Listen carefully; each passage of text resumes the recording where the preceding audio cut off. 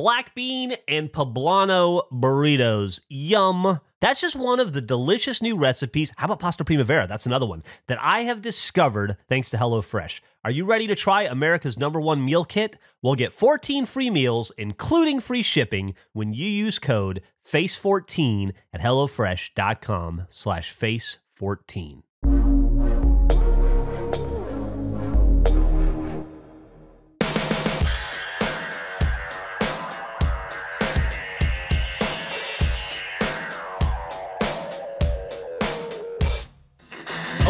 And welcome to episode 64 of the Face Podcast. I just realized I definitely don't think we did an intro, the last one we just recorded. Uh, so just listen to this one twice. I'm Geoff Geoff. Uh, with me as always is Gavin Gavin and Andrew Andrew. And, Yo, did we uh, not do an intro? I feel like we did. Did you, we not? we, we started. It started with you and uh, Eric fighting over NSYNC. Oh, was like yeah. top dog NSYNC, and then Yeah. I We don't said think the number. around to it. Did we? Oh, we did. 63. Okay.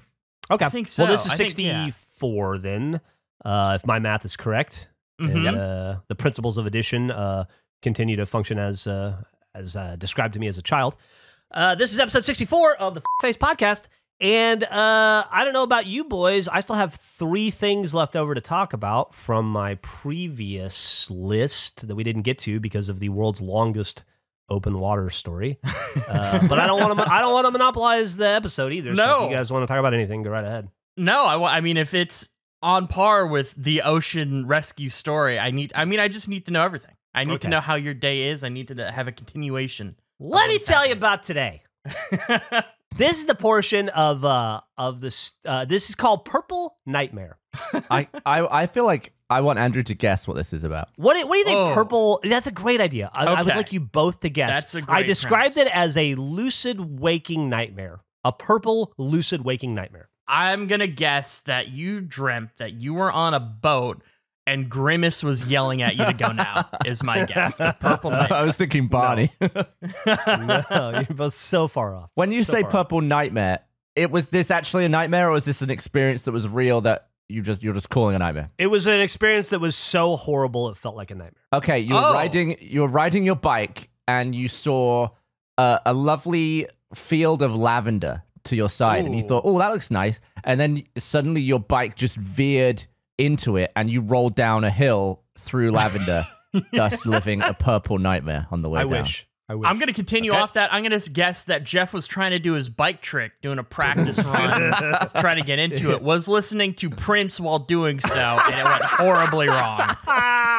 That is my second purple nightmare guess. I love the idea behind that.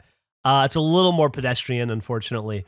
So I thought I was going to have a good day today, and it's it's largely been a good day. I mean, I What made you to- think that though? I just felt like it. I woke up in a good mood, and I thought like today will be. I, I knew I had to go to the doctor. I hadn't been to the doctor in a while, and I wanted to go get some blood work done, and you know, just a wellness exam. So I went and got a tetanus shot, and because I figure if anybody on earth needs a tetanus shot, it's me. and uh, I mean, you did cut uh, your hand open on something. yeah. That also, you know, you want to check your cholesterol and do all the stuff a, a, a man like uh, myself has to do in his mid forties. And so uh, I was kind of looking forward to that because it's one of those things that you you put off and you put off, and I was glad to finally be doing it. You know, and so I had to I had to leave kind of early to go to the doctors. And one thing I do uh, when I have Millicent, you know, w- with joint custody, I have her half the time. So on the weeks that I have Millicent, every morning or virtually every morning, I make her uh, a smoothie because uh, she has some specific dietary requirements, and uh, I really I've I've learned how to make this awesome smoothie that's really fun, and she seems to appreciate it, and it it sets her up for uh, sets her up for in the right way uh, for her day. She's all full of nutrients and stuff, and uh, anyway, so I was making her smoothie. It's a What's it's a this smoothie? blueberry. It's a blueberry smoothie. It's got a lot of stuff in it, Oh, but the uh, the main ingredients are blueberry and banana and peanut butter, and it was the yogurt uh, that was that caused the initial problem, and some honey and some other stuff. Anyway, so uh, I have this like Ninja Foodi like smoothie maker machine, and it makes like a twenty ounce smoothie. And so uh, I was talking to Emily this morning while she was getting ready for work, and I was making the smoothie and putting it all together, and I crammed it a little too full of yogurt. Which I can't stand. So when I put the lid on, the way it works is you like fill it up. You put a lid on that's got the uh, the little fucking blades in it, and then you stick it on the machine, and it goes and it spins it all up. And so when I put the blades and I pushed it down, it fucking shot yogurt out uh, of all the sides. Which, if there's one thing I like less than yogurt, it's it's goopy uh it's goopy yogurt coming out of the sides of a smoothie thing. It was like I, I retched. I'm like, whoa. How's it coming out the sides? Because I like sc- you like at the top where you like screw it in. Oh, okay. There was too much volume, and so it like squirts. It's like yogurt squirt coming out of the top. That'd be a great way to describe it. Gross white yogurt squirt. And I was like, so I go over, uh, I go over and I rinse it off, and then and so the the now the the canister's a little slippery and wet, right?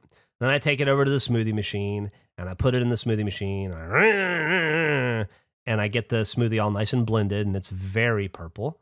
And uh, then I go over uh, back to the f- to the kitchen sink because some more yogurt squirt has come out, and so I take the cap off and I'm like trying to just you know clean it up a little bit, get the yogurt squirt off of it and stuff, so that it's uh, not disgusting for Millie.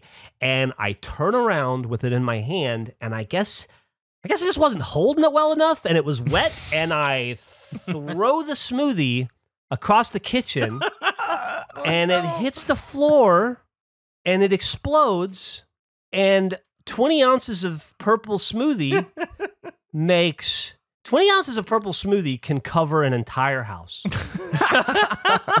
it can cover all of the floor. It can cover three different carpets.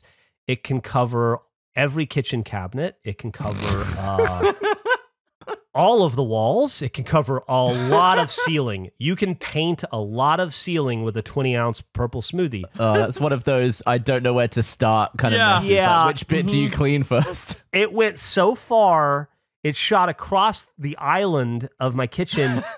Gavin, you know where my you've been to my house. So my kitchen, it shot over like the little cutout area on across the dining room table.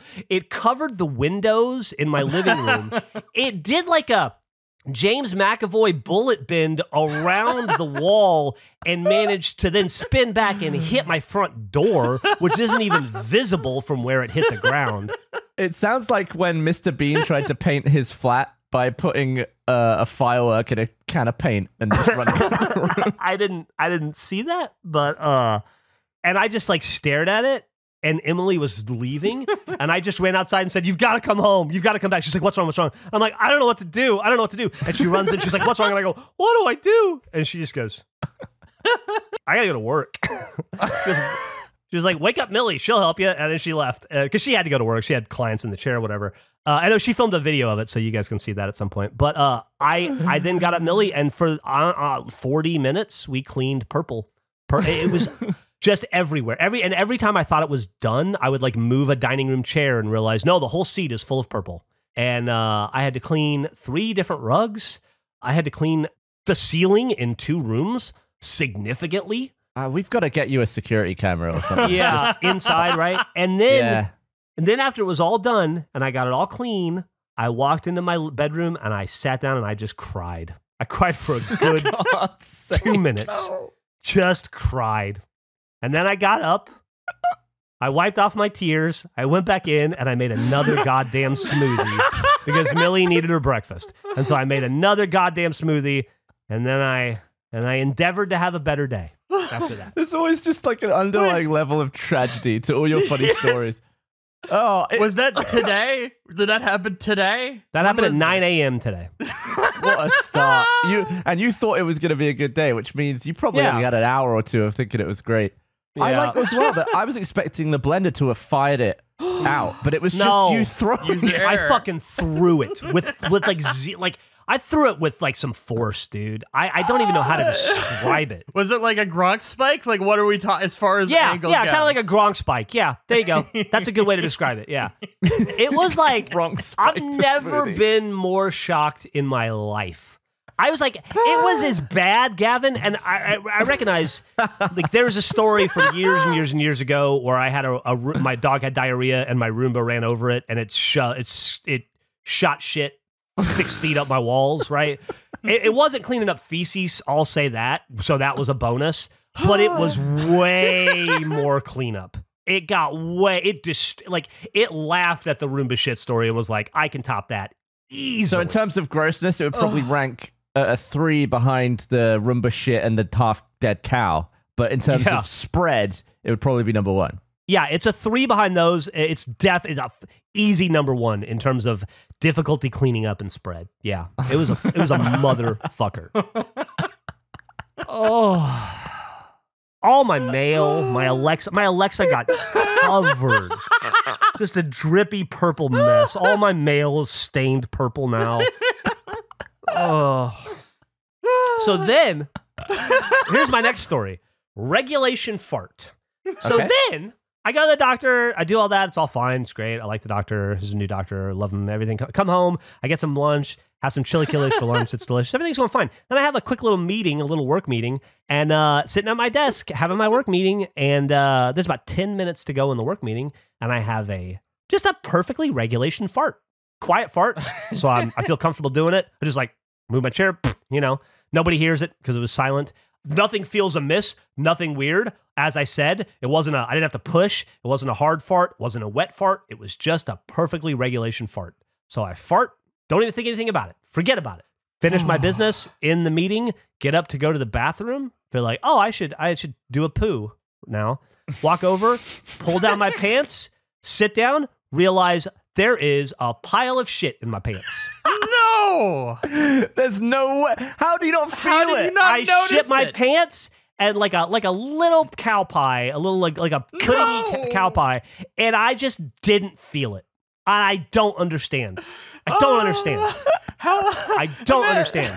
And it was like it was an it was like oh no. It wasn't like a streak or a little bubble. It was like there was weight. You know, it like weighed my underwear down. And I don't know how I don't know how it happened. I don't know how a regulation fart had had non-regulation results, and I don't know how I didn't discover it at all until it was way too late. So that was a quick trip. That was a shower and laundry. if, Geoff, if Geoff didn't take a shit, it would still be in his pants. He would have known. Maybe, It'd maybe, maybe. there. I had to check and make sure this very chair I'm sitting in didn't have shit in it. It didn't. It was fine. The pants contained it. But uh, but yeah, How much time passed between regulation fart and shit discovery? ten to eleven minutes. Okay. So not not enough time for it to sort of go hard. No, no, it was still pretty goopy. Oh, I'm I'm honestly blown away that after the so to date when we're recording this, the episode where Andrew rips a homer in his words at the end of the last episode that came out yesterday. I am blown away, Andrew, that you had no repercussions from that wet, Oh, none. disgusting noise. Oh, I man. couldn't. It was funny. I think I I texted it to you guys. I couldn't figure out that evening. I was just. It was like a home run derby in my ass all night. It was just. I couldn't. I couldn't stop, and I was like, "What is going on? This is irregular." And then the next day after we recorded, I had a fiber one bar. And then it just, it was like throwing another log in the fire. Like it came back, and I was like, oh, I ate like three of these that night. That's what Oh, caused so this. you were fibered up. I was And that- fibered and up. that was what and was it was producing unleashing. non-regulation Yes. farts. Yes. God damn, dude. By the way, Oh. the audience universally loves your farts. Congratulations. Huge That win for lot coming from Fuckface. Zero, zero negative comments. R.E. Andrew's butt. I was amazed and, and, and, and it was joyous to see. I I'm think we've got a good audience. I think we've got Yeah. one. It's not I- an audience that like uh you know turns them off in disgust. It's it's an audience full of embrace. Even with such a wet, disgusting fart. heinous. Speaking of uh speaking of audience, uh, that's one of the things I wanted to talk about. Oh, by the way, I should just say I, I'm now terrified because I, I I don't think I can trust my farts anymore. This is uncharted fart territory for me. if I can't trust a regulation fart, what, can I ever leave the house again? Yeah, I mean, would that be would that be a fart that you would have taken the Yeah, gamble on in anywhere. an airport or something? Yeah, Wow. anywhere. Yeah, it was a regulation fart. dangerous. that's Just a so normal, dangerous. Bog standard regulation fart. You got to figure that out.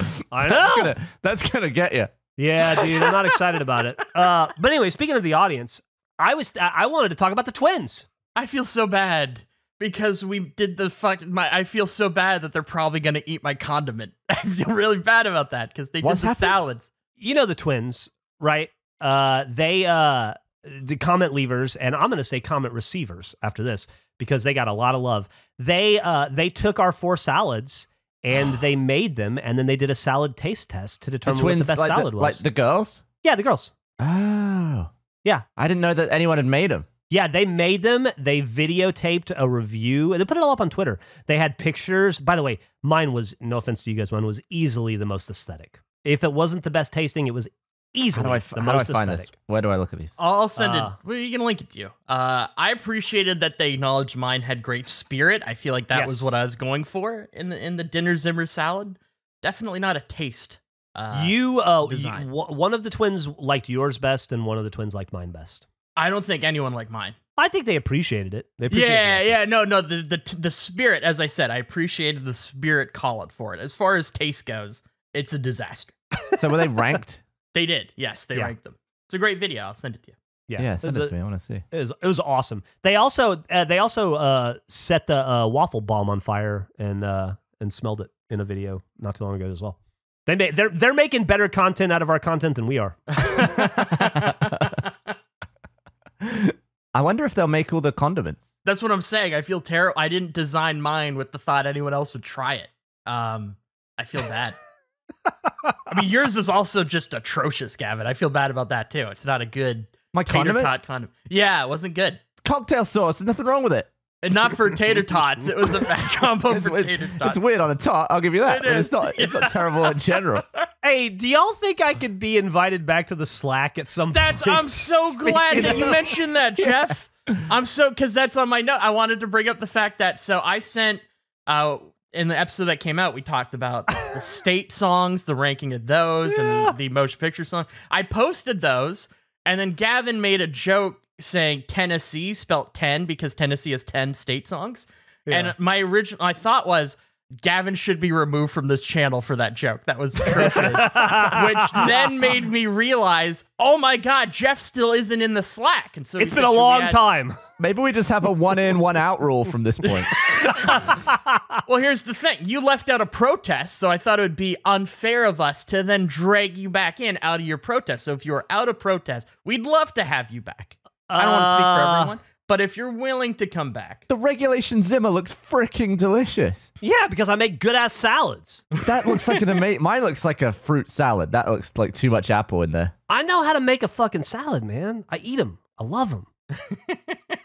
Raymond's looks. Ooh, Yeah, dude. It's there's a lot of different. shit. The blueberries next to the meat. This looks a bit weird. it's not good. It's not a good salad. oh, Nick's looks healthy. You take that Fucking awesome. avocado off of Nick's and it looks delicious. It's a good salad. I mean, Well, i- if you like avocado, I understand that it would be it would be a bonus, but if you don't, it's a it's a big detractor. so you want back in the Slack, Geoff? Just to clarify, we can add you back. We'd love to have you back. I have Yeah, a question though. great. Does Geoff get to see all the stuff we wrote while he was gone? I think so. Yeah. I mean, it, Okay. that's up to him if he wants to scroll up. I don't I don't think I do. I think I think I it starts where I join. I think I lose Oh, all my progress. That that was a lot covered that we should probably fill. Maybe we could just repaste it all. Huh. Yeah. well, maybe maybe it wasn't for me to see. Uh, well, that's uh, that's everything I had on my list. Now it's all I'm left with is the queries and insights, which I was just going to pepper in uh, as we uh, as we went. Uh, one of those, of course, was the the twins. Have a question for you guys. Let me ask you guys a question. okay. When I was in Mexico on the island, there's a rule uh, in Mexico. It's it's in every toilet in the in on the island. They said please please don't flush toilet paper. It's uh, flush as, few, as little toilet paper as possible. It's an island and the plumbing isn't great, and Yeah. so they they want you to like throw it in a, a waste bin. Um, and that got me thinking: what if every person on the island flushed toilet paper at the exact same time? Would it blow up? I think it, all the It's pressure the- would funnel to like one toilet somewhere, and it would which got shoot up. which got me thinking what if every toilet on earth was flushed at the exact same time think of it like a like a global shit in everybody f- eh, poop or not but everybody flushes the toilet at the exact same time. Would earth implode? Yeah, the planet just cracks in half. there i mean maybe not but something has to happen right? Like that many millions or billions of toilets flushing at the exact same time it would have to have some sort of effect. What would that be? It would have to back up somewhere because all this water is currently stored.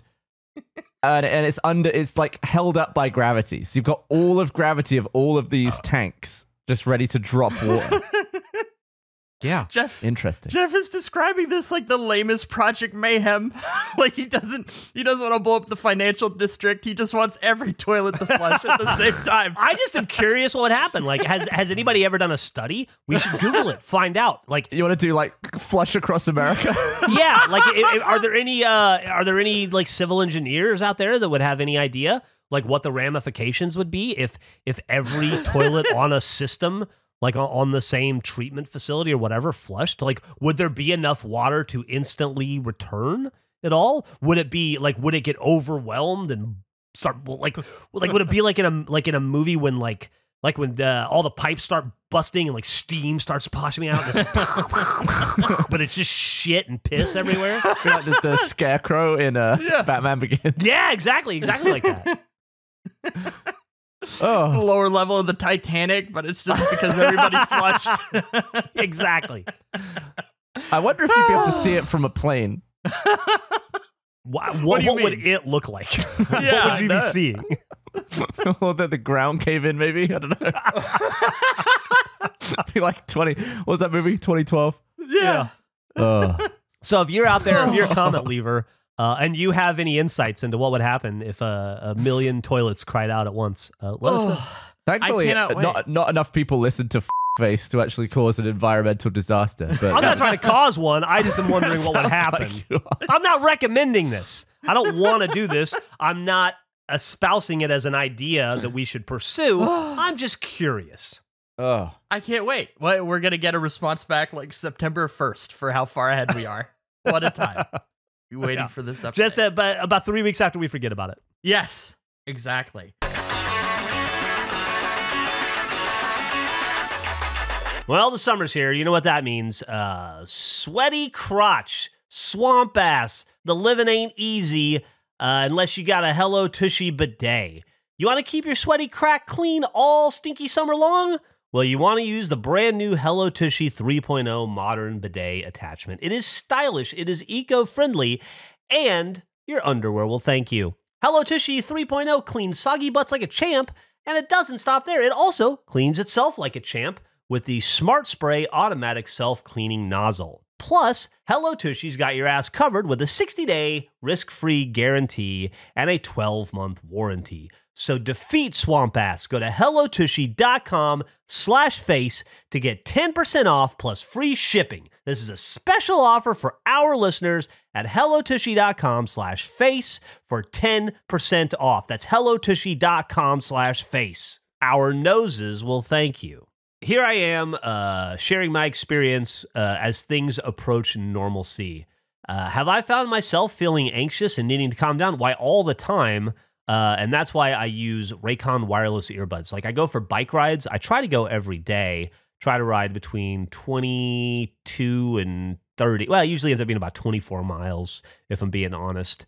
Uh, and I, I pop those suckers in, and it kind of just helps me reset, helps me work through problems I have. It's a little bit background music, kind of uh, drown out the world, helps me center. I appreciate it. It kind of gets me back to where I need to be. But it's not just about calming down. Sometimes you need to be pumped up too. Like you need a badass playlist because you're about to go work out at the gym. I assume not me, but maybe Blaine. I know that I like to listen to uh, instrumentals, uh, really good, like kind of like modern uh, jazz and just kind of weird stuff that just kind of helps uh, helps me surf my thoughts a little bit without being too distracted by uh, you know what the music is saying or trying to tell me. But let me tell you right now, Raycons are the best way to listen. They come with a bunch of gel tips for your comfort, and unlike some other brands, they don't stick out of your ears and make you look like a I don't know, like a 1950s uh, alien. Raycons have a 32 hour battery life. I don't need that's like uh well, I don't know how to count past 24. So it's uh it's more than a day, I'll tell you that. So you can listen to what you want when you want for a really long time. They start at half the price of other premium audio brands, but they sound just as good, which is awesome. You're basically paying half the price for just as good of a product. And they come with a 45 day happiness guarantee, so you really can't lose. Give them a try, and you'll see what I mean. Create your own soundtrack with Raycon. Right now, Face listeners can get a 15% discount off the Raycon order at buyraycon.com slash face. That's buyraycon.com slash face to save 15% off Raycons. Buyraycon.com slash face. I did a thing. I don't even know if I should talk about it. Maybe it would be satisfying if I talked about it because they will know the results before I do at this point. It will be long over. By the time they hear about this, this will be a distant thing. The Olympics start in two days. I love the Olympics. Like the spelling bee. I had people, I tweeted out about how great that spelling bee was. People were like, is this a bit? Not a bit. Spelling bee, a fantastic event. Oh, that, by the way, not not to derail your story, but that was fun. Like I, It's Gavin wasn't around for it, but you and I hung out and uh, we just texted all night watching the spelling bee together, and it was enthralling. I had the best time watching the spelling bee with you. It's a great event. People should watch it every year. It's a lot of fun, even if you're not doing like ridiculous things like what my football fantasy football league does. It's just a fucking awesome event to watch. These people. There were there were so many intense moments. I've never seen someone like go to spell the word and then like ask for more clarifications on like origin and whatnot. It was intense. The person who won almost lost. It's a great thing. I was at a, a social event, and I, I try not to spend too much time on my phone when I'm around real people, and I just had it down somewhere. And then I picked it up, and there were like 175 new messages in the group chat. It was like reading someone's live tweet from like an Apple event or something. it was amazing. I couldn't believe what I was missing out on. There was like moments of tension in there. Oh yeah, There were Oh, it was predictions. very that, tense. oh, it was Andrew amazing. Andrew was convinced they were icing his guy out. He was very upset about it. I was outright. My kid, they went to commercial break two times in a row on my kid, just icing him, just putting the pressure on him. I feel like that was a good enough read to the point where, along the same lines as a break shit stream, we should just have like a live stream reaction or commentary to an event that's going on like that. I think it would be good. Yeah. Okay. Well, Let's that'd be do fun. that. Well, I don't know. Maybe something. I don't know. We're going away and stuff. But so I love the Olympics. Fantastic event. I have gambled heavily on the Olympics this year. I'm excited to celebrate it. I didn't have much of a strategy. I just took the over for every country's medals that it would let me bet on. Uh, so I'm cheering for everybody, not gold medals. I just need any medal. So this is my betting list. I have Oh, man. Canada, US, Australia, Belgium, China, Colombia, Denmark, Finland, France, Germany, Great Britain, Japan, Netherlands, Norway, Spain, and Sweden all This over the number of medals. This is number of medals earned. That is Why correct. they? How can you get half a medal? So that's it's for setting the over under, right? So by Yeah. putting Oh. a point five, you can't win half a medal. So it'll clearly be either above or below that number. Okay. So I'm going the over for everything. I don't know if that mathematically is even possible for all these bets to win uh, for going over, but I'm excited. This is going to be my next two weeks is watching basketball and rowing and track just be terrified about medal placement. so if two people in Finland get bronze medals, yeah, I'm all about Finland. I was like 1.5 for Finland. That seems super low. who who are that. you most worried about? Finland because it's 1.5. Dude, I had to yeah. look. They got 20 athletes in it. I'm excited though. But by the time that people hear this, the Olympics are going to be over like a week ago. They ended over a week at this point.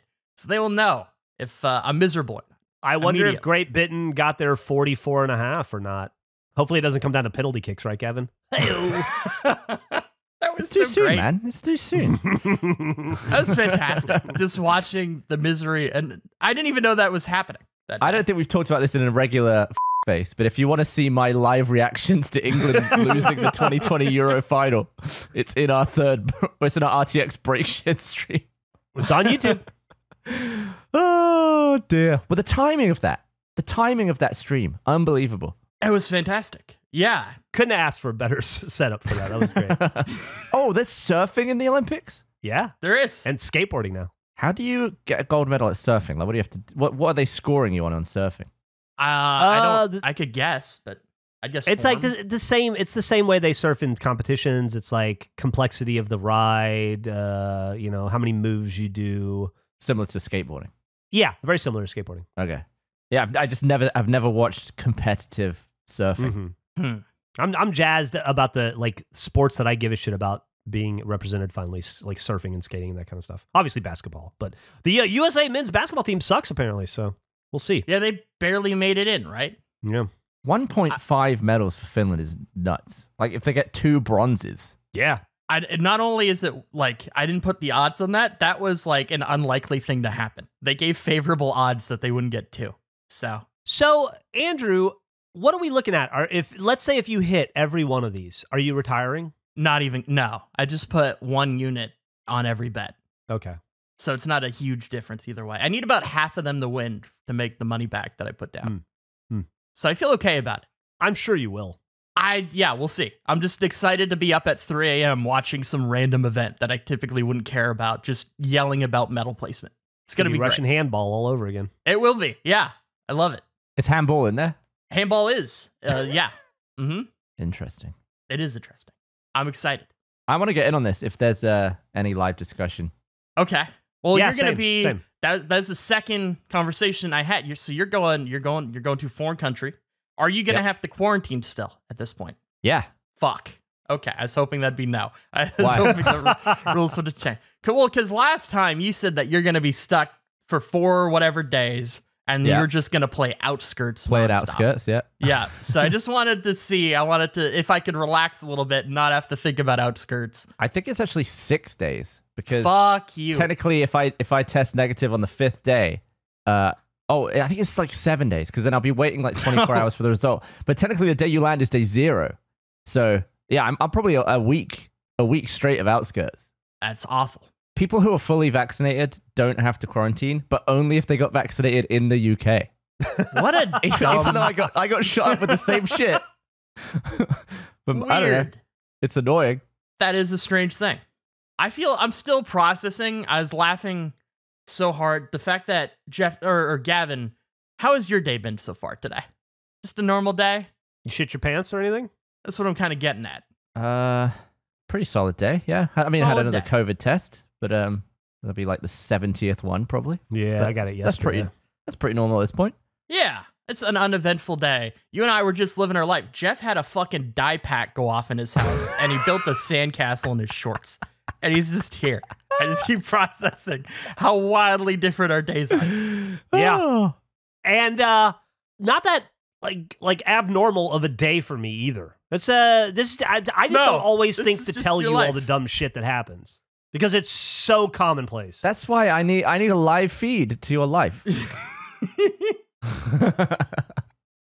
we have such different like the last kitchen disaster i had was really un- i got a rice cooker like over a year ago never used it i was like ah i'm gonna i was in a weird spot of like hungry but didn't want to make a meal because it was late so I, I put the rice in did everything hit start one hour appeared i was like whatever i'll wait an hour waited an hour opened it up i was more surprised than morgan freeman in seven to open it up and see the rice uncooked like it was just, it looked the exact same as I put it in. What I didn't realize is it wasn't a start button, it was a delay start button.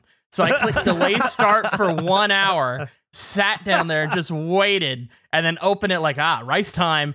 Not even slightly cooked. It then turned on after the fact. I had to wait two hours to make my cup of rice. It was dreadful. But it's like, it's a contained issue. I don't have shit on my walls. I don't have Well, things exploding. I will say the last time we recorded, you had a That pretty intense issue with a tea kettle. The tea kettle ramen scenario was wasn't oh bad. my god, I forgot about that. I was looking at the pictures this morning. that was a disaster. But yeah, and I've learned like since then that that's like a two hundred dollar kettle. it's a fancy kettle. fancy shit. It's it's a nice kettle. Yeah, dude, your flexing your your kettle flex was pretty intense.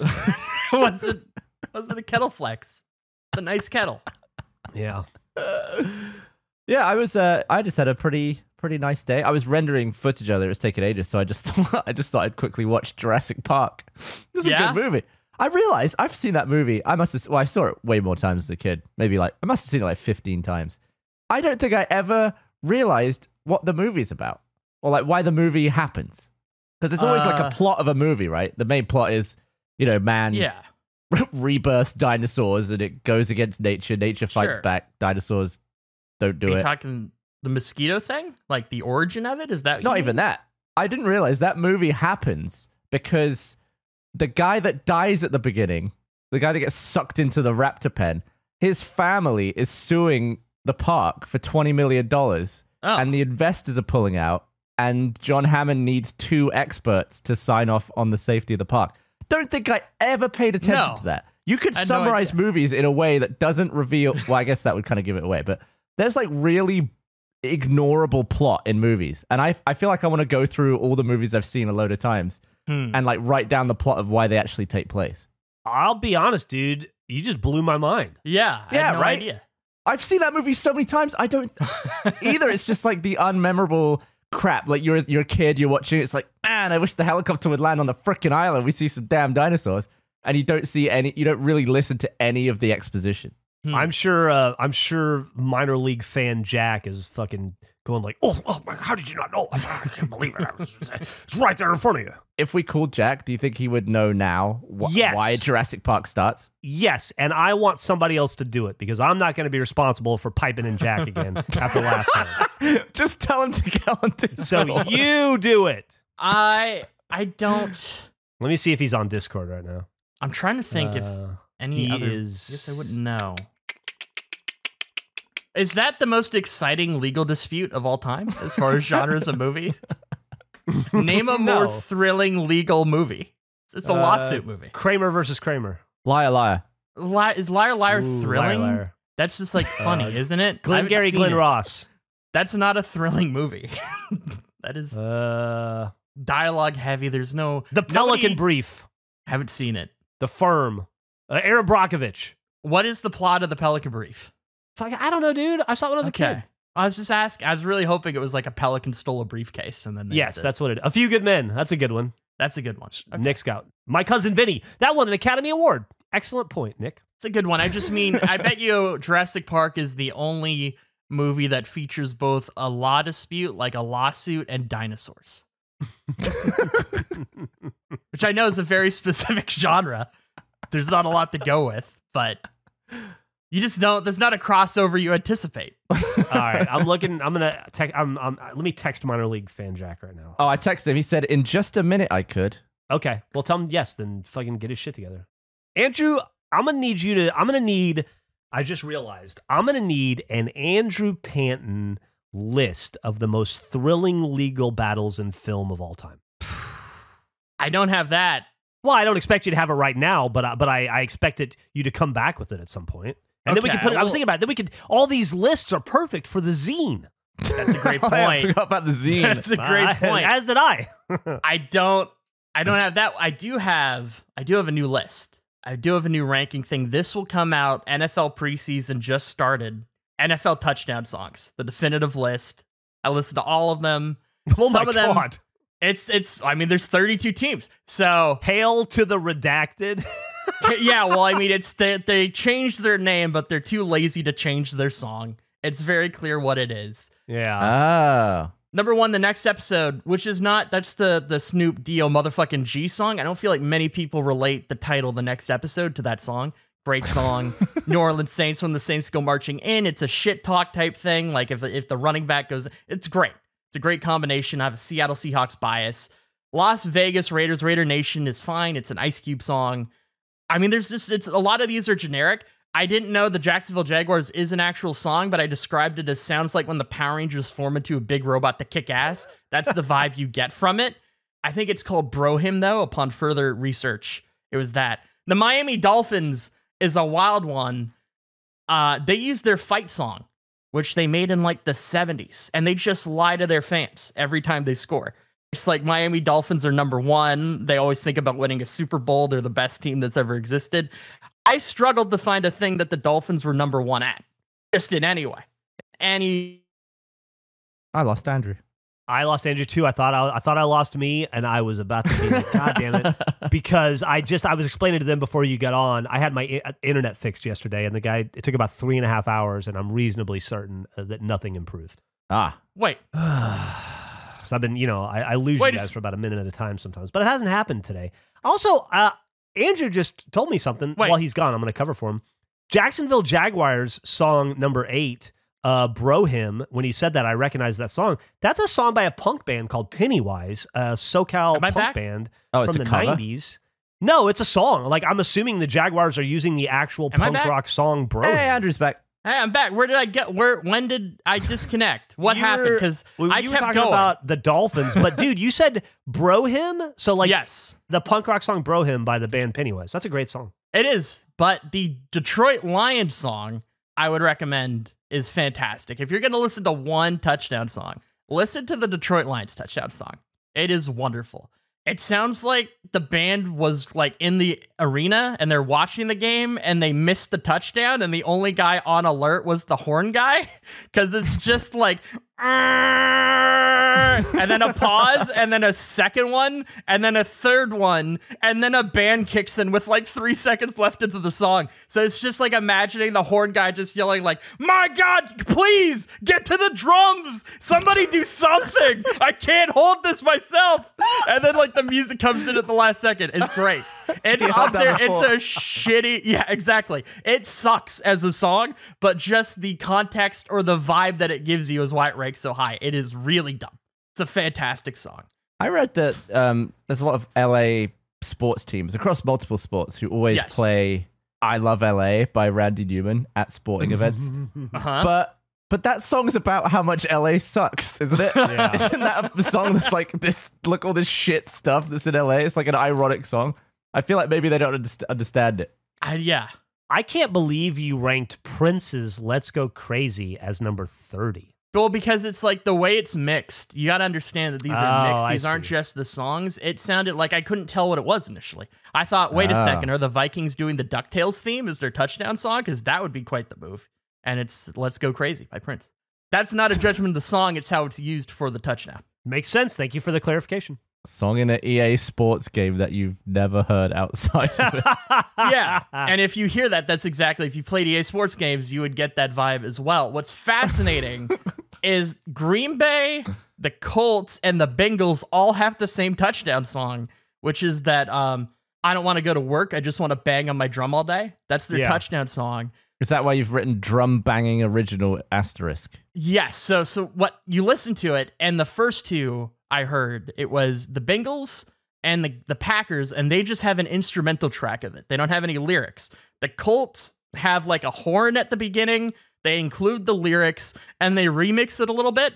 So it became a question of who used it first. Was it the Colts and then the other two swooped in? Because I think teams somewhat frequently change their touchdown song. It's not something that a lot of teams necessarily are married to. But it's as I guessed, the Colts, it's like when you try to copy your friend's homework and you just mm-hmm. make the minimal amount of changes so it's not recognizable. they stole the Packers song in like 2014, which was that, and they just slightly edited it so it'd be a little bit unique. but it's just the song. It's a lot of history. The Miami Dolphins fight song, this sort of like random tangent. The guy that wrote it got like no credit for it, and he's now a defense attorney in Tennessee. And he should have is the creator of one of the most iconic. Like he got his band together, they recorded it, sent a bunch of demos out in Miami, waited a few months. He called his friend, like, "Hey, have you heard a song called Miami Dolphins Number One?" and his friend was like, "If I hear that song one more time, I'm gonna kill somebody." He had no idea that the song was getting any play. It was the biggest song in Miami. And he just had no clue. Nobody would believe that he wrote the song. It was so iconic. Like he told That's his so friend, annoying. I wrote that, and his friend was like, You're full of shit. There's no way, because you're just a random musician in the middle of LA. There's no way you created the Miami Dolphins iconic song. So we had to fly to Miami and buy a record of it to show proof that this is my name. I made this song. The Dolphins wouldn't do shit for him. They refused to pay for it. They're like, We're just going to continue to use it. We're not even going to recognize you. So he said, Fuck you, Miami. And he went to Houston and he re recorded the same song and tried to sell it to the Houston Oilers, which is now a defunct franchise. and it sounds slightly different. And you think, like, oh, he did it because he wanted a musical change. What happened was he hired a bunch of musicians who all showed up stoned and they brought the wrong instruments. So he just like made do with what they had. So there's a random horn in it because This the guy brought life. a horn for some reason. It's absurd. It's an absurd time. But he was able to sell it to the Oilers, but then they died. So all he's made is like mm. a thousand five hundred dollars from this song. All he got from Oh. Miami was two game tickets. He got free tickets to a game in the 90s. That's all the compensation. Nobody knows who he is, but he wrote one of the most iconic football songs that is played every time Miami scores at home since like the 70s. What's this person's name? Yeah, what is That's his the thing. I don't remember. It's the least memorable name of all time. I like went to all this effort. It's like this guy deserves the recognition. Don't He yeah, does. bother remembering his name though. No. I've read like four stories on the guy. I've tried. Can't remember his name. It's the it's the opposite of the basket weaver, whose name you knew, but you didn't know anything else about them. I know everything about him but his name. What you, you want to guess it? Or Uh it's uh e- I, f- I feel like it might be Igor. We're going to go with an Igor Igor Patterson. Igor Patterson. guessing The it is so writer- much more insulting considering we live in a time where you could find out in one second online. Faster than Oh. it took you to make up a name, probably. Probably. I th- I th- I will say, uh, by the way you're describing life continually kicking this guy in the dick, I feel like I'd get along really well with him. He sounds like a real Geoff. Yeah. Lee Ofman is his name. Igor. I was close. Igor Patterson, Lee Ofman. Almost the same amount of letters in the first name. Lee is a short name. Igor only four. I feel like I was relatively close. I remembered it was a short name. Igor. Igor. That's the same as being like, oh, what was his name? I think um Frankenstein. I think. Oh, Jim. Shit, I was close though. No, those are com- the the letter count. Those names are way off. I was only Sure. one letter off. one. Two syllables versus one, though. Big deal. That's true. That's a good point. If I would have got the syllable count, that would have been an icing or a cherry. Not an icing. You always have icing on the cake. It's the cherry on the top of the sundae. Well, icing on the cake is also a, a phrase. yeah. Yeah, but It like, it, well, I guess there are icingless cakes now, right? Aren't they called naked cakes? They're all there always have been. well, I mean, like, I feel like they're more popular than they used to As, be. as technology has moved on, icing has retreated from the cakes. It has. Well, there's naked cakes now, and there's still icing on them, I guess, but it's like the side. Or is there icing on a naked cake? I'm not crazy. You know what I'm talking about? Like, it's in the middle layers, but it's not on the sides. I've made one. I made one years top? ago. Yeah, well, like the top and in the middle. If you're doing a layered cake. Yeah, I, mean, I just feel like if it's if it's on the sides, it's definitely on the top as well. It's not like nobody makes a cake like Friar Tuck's head.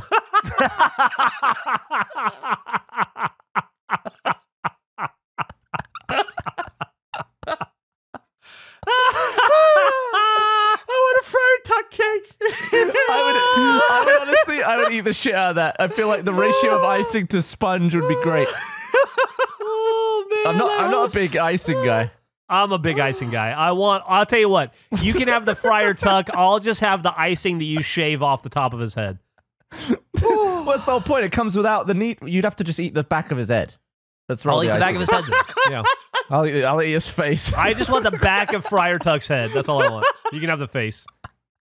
Larry David cake.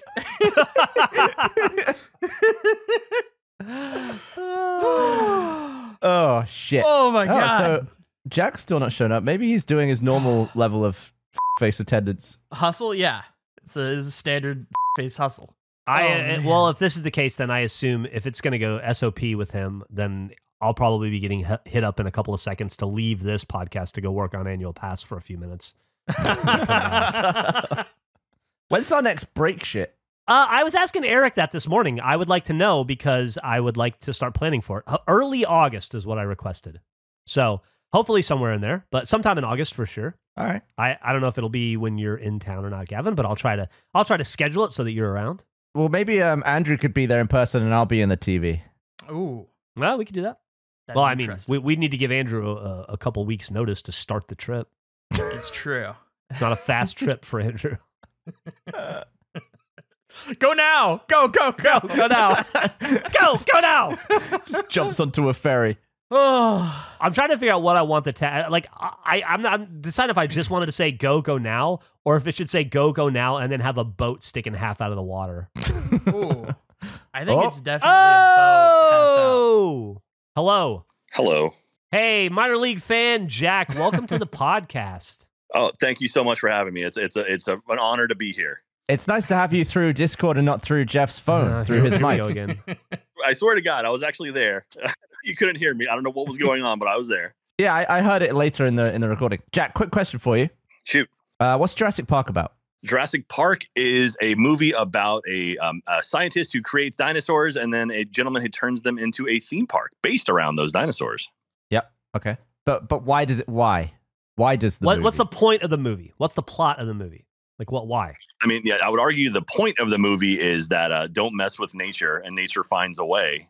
Yeah. And uh, yeah, and the the plot of the movie is uh, the the everything looks good, but no, nature found a way, and they replicated and then destroyed everything. But why does the movie happen when it happens?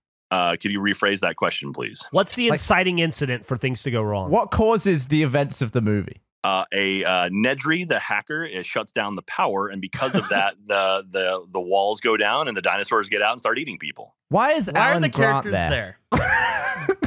Alan Grant and Ellie Slater and or excuse me, Ellie Sattler and Ian Malcolm are there to basically give their thumbs up of approval on it because the lawyers were pissed off because people had died. And so Hammond needed someone to basically kind of give a, a thumbs up on the the whole park to be like, oh, it's safe and it's great. And so he brought them in because he was funding their dig in Wyoming, I believe, or Montana. And so he's like, I know them and I can fund your dig for further if you come give me a thumbs up. And that's why they were there. Holy shit. Geoff, he knew more right. than you did, Gavin. Holy shit! Yep. And I feel like it's Gavin's fault for how he phrased the que- he phrased it horribly like six times in a row. Well, that was why the, I didn't. so I didn't want to give too. I didn't want to like get. I didn't want to give anything away and like the No. information we were after. I was hoping that it would just eventually get there. I just But had to be there's more a- specific. There's a line between not giving it away and actually asking what you're asking. You asked like six different questions that were unrelated to what your I point. was just trying to get closer and closer to the reason the oh movie started. man. Say, Jack, Gavin watched Jurassic Park today and he discovered that the movie was about something he never realized. And he was explaining to us about the $20 million lawsuit over the guy that got sucked up by the Raptors and how uh, they brought Ian and the others on to, to basically certify that it was safe. And I said, if anybody on earth knows that, it's you. I was just blown away, Jack, that I'd seen that movie about 15 times, but I never really knew that was the reason the the movie events start. Yeah, yeah, yeah. It's that's the whole the whole point of it is Gennaro, the the lawyer, is there, and he's like, we got to get we got to get people to sign off on it, and uh, yeah, there you go. I bet there are very few people on earth who remember that the lawyer's name is Gennaro. Gennaro. You are in the top 0.01% of Jurassic Park fans, probably. Uh, thing. I, I'm a Jurassic Park super fan too, I guess. All right, okay. Uh, uh, Robert Mul, what's his name? Muldoon. Robert Muldoon, yeah, he's the, the the warden, the game warden. Yeah. Where, where did John Hammond find him? Oh, was it in a like an African safari? I think is where he found him. It was. It was from Hammond's Park in Kenya. Damn, he knows his shit. Jack, who wrote the Miami Dolphins fight song? The same guy who wrote the uh, Country Road song. Oh, it's great. John Denver. You nailed it. If you would have known that, Jack, I would have left. That- You would have blown my mind. Nobody knows his name. I don't even know his name. I've read six stories about the guy. I can't remember his name. His name's Igor Patterson, right? That's what we determined. I remember that. I don't even remember. We just said his name. I don't remember what it is. I just remember Igor. All right, Jack. All thanks for uh, thanks for proving Jeff right, and uh, thanks for blowing my mind. All right, yeah, appreciate it, Jack. Talk to you later. Absolutely, big fan of the show, you guys. Love you guys. thanks, Jack. There Hi, you go. Jack. That was uh, minor league fan Jack. He didn't. He didn't leave. No, Like, he's we- still he's just he's here. Do He's hanging we- out. Did he leave on his end? Did he just close the app because he was on his phone? I think he Maybe- just closed the app and Maybe he just walked away from his phone. May- he's still there. Maybe he just wanted I to wonder if to- when he- you guys need me to leave now. Okay, love you. Bye. Bye, love you, bye. I wonder if Oh. whenever he's done Oh. talking on the phone, he's like, "All right, mom, I'll see you later," and then he just Just puts his phone down fully on and just goes to another room. Walks away. Ah, oh, Jack, Jack really knows his shit with that movie. Yeah, he God. does. Hey, Henry found the squeaky toy again. That's cool. I forgot about Henry. The squeaky toy, Geoff. You were trying to shush it, but in your ocean rescue story, it was really, it added a lot to it. It was fantastic. it was so funny. it was just distracting me. I was trying so hard not to forget the different elements of the story. Nick says that was the cherry on top. And Andrew would say that it was, was the the icing icing. on the cherry. oh man! By the way, uh, my girlfriend the other night she gave me she asked me about something, and she gave me the look, and it was uh she didn't have to she didn't say anything, but with her eyes, uh, I very clearly got the message to get these fucking bats out of our house. oh, okay. So I got to do something about these goddamn bats. I asked yesterday or the other day to get more tags because we we determined last time we recorded that we have elements of a lot of ideas, but not enough to do any one of them. So hopefully those will come in soon, and then uh, Gavin will come over and cut hundred bats while I watch. So just to recap, you have 100 bats and 900 knobs. Correct. and a thousand metal tags. I like. I just still love the fact that someone just bought everything in our discussion. Didn't like Yeah. worry about what we'd settled on. It was like, well, they talked about this, they talked about this, they suggested this. I'll just buy all of that. Now I've got everything. In their defense, I mean, I'm I've been so confused for so long. I don't know that I gave any kind of correct instructions on what we wanted because I don't remember. I'm I'm so fucking far gone with these bats, man. I just want them out of my life. And they haven't even started yet. I like that they fucked with you more by doing what was said than Gavin and I ever did by implying the bats were manipulated some way. They've caused way more Yeah. just annoyance. Yeah, this is Oh, real yeah. Yeah. Yeah, I'm looking at them right now. They've become a permanent shelf in my library for me to store stuff on. This is, this, we're probably not going to record for a bit at this point. I mean, I know We're the not- break shit thing will happen, but we're probably at least two weeks. I'd assume I'm going to miss you guys. I'm gonna miss you too. Yeah, I think we just need to stay in touch. Um, gonna be a lot of excitement for when we come back. It's mul- multiple layers of like, we need to stay in touch because I love you guys, but also just to make sure Geoff is still alive. Yeah. I feel like it goes back and forth between Andrew and Geoff on like who's more in danger. Because sometimes there have been times where Andrew's just like dropping pints of blood out of his ass, and I'm actually worried that he's gonna die. And now at the moment, it's just gone Geoff's way. So It's very different though, because I feel like Geoff's danger comes when he's going to look at sharks. Mine is I ordered pancake mix and then just everything fell apart my life. it's the mundane that gets me. I look. I just got my tetanus shot, so I'm feeling pretty safe right now. you're gonna be climbing over so many fences, not worrying about it. Andrew, I think we need to start booking in the dates for when you're gonna try the marathon. Though I feel like it's never good when a bit is discussed and never happens. Like we should No, try and make it happen. I completely agree. This is the redemption year. It's gonna happen. Yeah. I've been very vocal on this. Actually, when did I the found- redemption year start? Twenty? Is that just the beginning Uh, of the year? No, it was it, no. It started when this ep- podcast turned two years old. Whenever that was. So episode what 50, 53, 54? Well, that'd be one year. when did I but declare? sure, yeah. Well, yeah, we're going into our second year though. Yeah, Yeah, we're in the year first, two. The, the first year, yeah, we're going into the second year, year two. So of year Season season- two- year two. Year two is like Redemption Island. It is, yeah, sure, why not? Okay. Man, I just started season 35 of Survivor and talk about the dumbest premise yet. It What's is that premise? Heroes versus healers versus Oh. hustlers. It's a great season. It's a good season so far, but what a dumb concept. Heroes versus healers versus hustlers? What? they really they do run out of premises pretty quickly. God damn. they eventually just start calling it island names, like like Gavin said, Redemption Island. Like they move away from like the group premises and are just like, this is an island about redemption. We're gonna call this island Ghost Island. Or what is it? Uh, uh like uh, when they uh, when they uh, uh, like when they ban them to the island by themselves.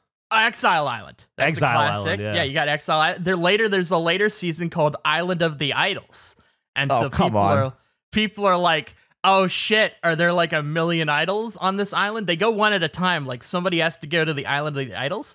It's not it's not idols. They just got Boston Rob and Sandra hanging out on a different beach and they're like, "How's it going in your game?" And then they give them tips and then Oh, they they're offer them playing? challenges. No, they're not playing. They just coexist on a different island. Quest givers. Yeah, they're they, the idols. They did that last year. NPCs. Uh, like Cochran was hanging out on a boat giving advice. Yeah, to that was. Yeah. that's a random reward where Cochran shows up and is like, What's in it for them though? Like those people, like Boston Rob's Money. only good because he's trying to win. money. Oh, for the players? So, okay, this is how it works. It is great. So you get there, right? And Rob will be like, there's one, the first one I remember. Boston Rob is like, I'm really good at making fire. Do you know how to make fire? I'm going to teach you how to make fire. And then so they go through the process of teaching the person, and then they'll offer them a challenge. So Boston Rob was like, I'll give you, I don't know, a second vote at a tribal council if you can make fire faster than me. But if you can't, then you lose your vote at the next tribal. And then they're like going back and forth, and Rob is like, you know, it's a big move having two votes. It could be a real game changer. Got to evaluate your thing. He eventually convinces the person to do it. They lose miserably. And then it just goes to a confessional of him going like, "They're the dumbest person alive. Why would they challenge me? They didn't know how to make fire. I taught them. How would they ever beat me at this?" It's a really dumb premise. They have them hiding Gavin in a little spy shack at Tribal Council. They sit above it and do commentary of what's happening. Terrible season. Man, after Geoff called you Russell Hantz, I went on a bit of a Russell Hantz uh, tour Oh, through the one of the most insulting things anyone's ever said. boy, is that an insult. And also, boy, does that guy's game not work if anyone has seen him play. Jesus. it's thrilling. he was so lucky doing back to backs. He was. Yeah, he was. He went on Survivor Australia, first one voted out. Did not last long. That's true. Just That's true. immediately gone. Something I was looking at though is like, I guess they do like two at a time sometimes on Survivor. Yeah. Does that mm-hmm. mean that Russell was sat there in the final? Well, this is a spoiler for Survivor. It is. Russell was sat there in the final of Survivor, knowing that he'd already gone out again and got to the final of the other mm-hmm. one, but had to do that entire season talking about his previous season, not knowing whether he'd won it or not. Yeah, you blew my mind because I knew this going in that the whole thing they talk about constantly in Heroes versus Villains, which is a second season, that none of them had the chance to see him play, and he was kind of this unknown variable, which is largely why I think he has success in that game. Uh, it never occurred to me that he would have done both, been in the finale for both, expecting to win $2 million, like you pointed out, and win zero. He didn't make a dime from playing Survivor. It's And I watched the one where he cried. Oh. yeah, that's Redemption Island. And then we got stuck with his nephew for two seasons. oh, I haven't got to that yet. you guys are watching this show like you're popping in and out season to season. I've watched it live every season since it came out. I had to deal with the Hantz family for like five years. Yeah. Five consecutive years of Hantz. It's a long clip. it's a long they really they they try to get the most out of out of the Hantz family. Yeah, we probably shouldn't talk about Survivor too much on this because there's Sure. so many people who haven't seen it. But I Yeah. would love like great. an offline Survivor conversation at one point. I'm I'm so Oh. into it. I want to do like a Survivor fan podcast, kind of like Rose Buddies for Bachelor. I've been been trying to promote that or trying to throw that idea towards Trevor for a while. I don't know if we'll ever get to do that. I don't know if there'd be any I'd audience for it, but if you're a comment No. leaver and you want to listen to us talk about Survivor, let us know. Maybe we'll make a Survivor podcast. Andrew would have to be in it because he's like the world's Survivor authority. it's bizarre to me because I'm one of the things the pandemic people started watching Survivor for some reason. Maybe because it was added to Netflix was an entry point. But I've lived most of my life not being able to talk to anybody about Survivor and just watching it constantly. It's maybe my favorite show. I love Survivor. It's a staple of my life as far as entertainment goes. Dude, it's all I've watched for the last 15 seasons, like the last six weeks. That and Housewives, you know, the Real Housewives of Beverly Hills, obviously. The other thing Gavin did that blew my mind is he had watched like five or six seasons. He somehow hadn't seen Boston Rob play Geoff. And he's Are you like, serious? Yeah, he's like, what season is Boston Rob on? And I'm like, season five, season nine, season 20, season 22. Like, he's in six or seven seasons. Yeah. It's amazing that you avoided somehow a Boston Rob season. That'd be hard to do. What what am I on now? I'm on one where oh, it's Dude, he so half-assed my birthday cameo. It was great. Boston Rob. Yeah, Do you still it have was it? so good. Yeah, I think so. I have uh, I have him and Coach. Coach's was like an hour. He just that, that checks out. Can you get probst? Ooh. I don't know. I would recommend, in a not serious way, Boston Rob wrote one of the worst self help books I've ever read. I haven't read many, but it's an atrocious book. And uh, Is it bad it's, advice? it's not bad. Adv- it's every chapter's about three pages long, and then he does a summary at the end of every chapter where it's like three statements that cover all of it, and it's the same structure of like real statement, joke statement, heartfelt statement for everything. And it's just it's unnecessary. It's called the Boston Rob Rulebook. Uh it's available anywhere online. Like you can get it, you can Apple Store, whatever. You can buy it digitally. I think he would be a great guest for this if we ever did it. Oh, I'd love it. He's a fascinating guy. Yeah, for he is. sure. It's interesting. It's also interesting how personally people take that game. There are people from his seasons that have not forgiven him for how he played.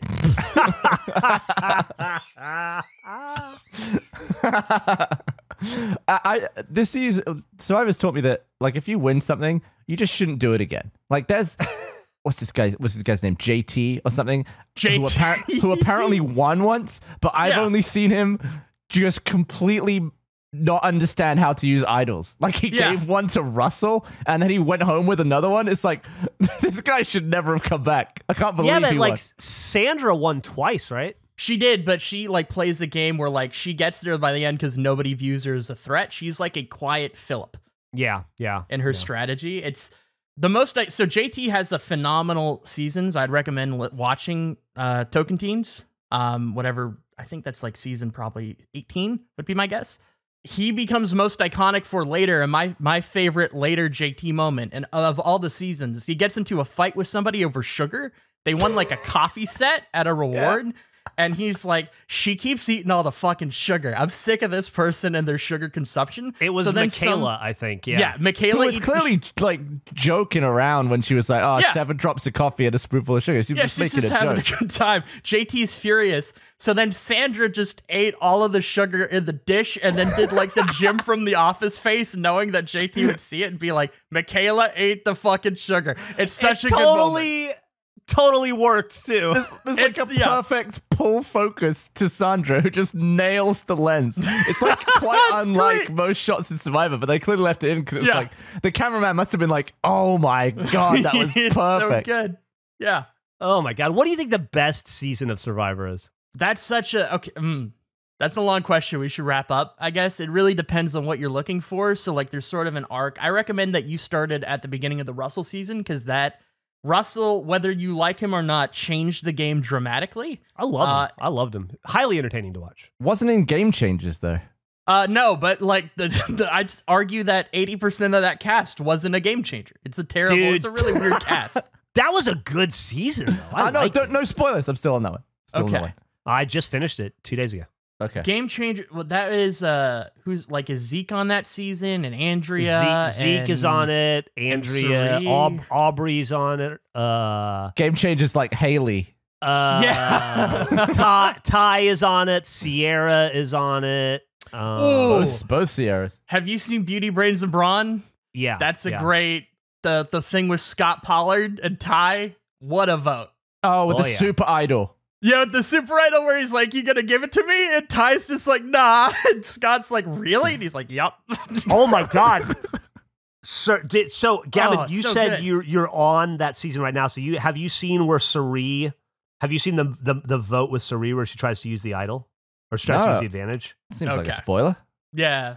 Well, I won't. I won't not really. I just won't. Won't, won't yeah. spoil it for you. But it's a iconic moment in Survivor. We should wrap this up. Yeah, we should wrap this up and then uh, probably pitch some sort of Survivor podcast so we can just make that.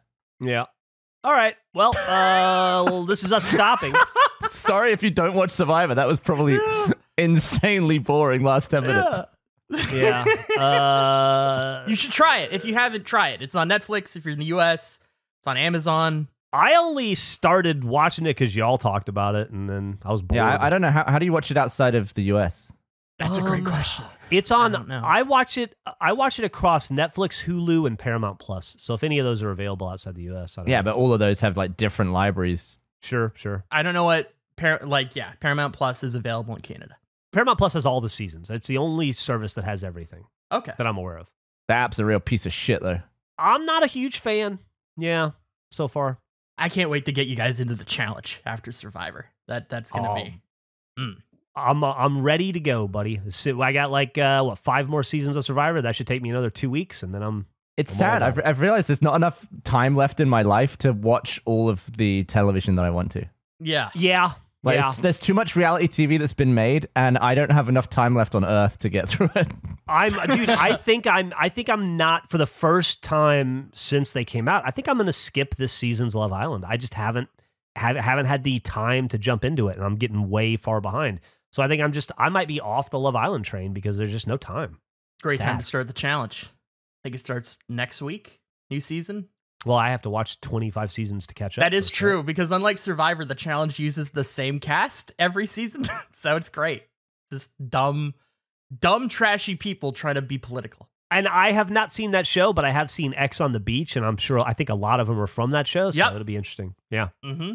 All right. Well, uh, we still seem to be talking, uh, though we all agreed to stop a while ago. Uh, Nick is now is now posting the Discord as Eric. thanks for listening. Like and subscribe. See you next time. rate five stars, find us on Instagram. Goodbye. I like wrestling. Me. That's my Eric.